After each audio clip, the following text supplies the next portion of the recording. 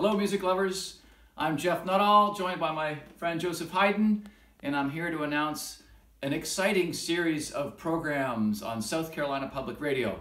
I've chosen 11 of my favorite programs over the past 10 years at the Spoleto Festival Chamber Music Series, and they'll be presented along with Bradley Fuller on his show Sonatas and Soundscapes, South Carolina Public Radio, beginning Friday, May 22nd. I hope you can join us.